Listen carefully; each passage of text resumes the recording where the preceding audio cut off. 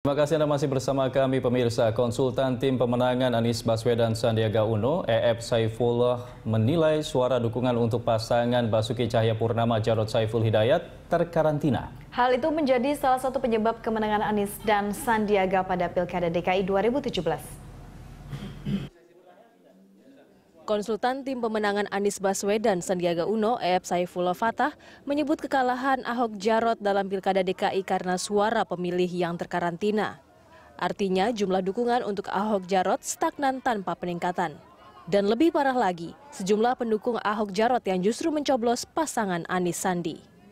Terkarantina itu adalah suara pemilihnya hanya itu saja, tidak bisa menjangkau pemilih lain tidak bisa menjangkau basis elektoral baru. Itulah yang kita sebut terkarantina. Karantina. Itu penyebab pertama.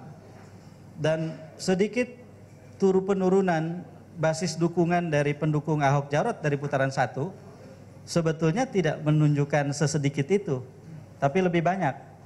Mengapa? Karena ternyata hampir 20% pemilih Agus Silvi ke Basuki Jarot menurut exit poll. Oke. Artinya mereka sudah mendapatkan tambahan hampir 20 persen dari pemilih Agus Silvi, tetapi angka agregat-agregat mereka, kumulatif mereka ternyata turun hampir 14 ribu. Faktor lain yang menyebabkan Ahok Jarot tidak bisa menjangkau basis elektoral yang baru karena dukungan dari PKB dan P3 tidak berdampak signifikan. Survei menunjukkan pemilih PKB dan P3 tidak mengikuti sikap partai tersebut yang mendukung Ahok Jarot. Selain itu, penyebab lain kekalahan Ahok Jarot karena pendukung Partai Nasdem yang memilih Ahok dan Jarot pun tidak banyak. Padahal Partai Nasdem paling pertama mendeklarasikan dukungan untuk Ahok Jarot. Pilihan elit parpol dan pilihan warga yang berbeda di Pilkada DKI menjadi alarm bahaya bagi para pengurus partai. Pemilih di Indonesia tidak lagi merasa terikat dengan partai secara permanen.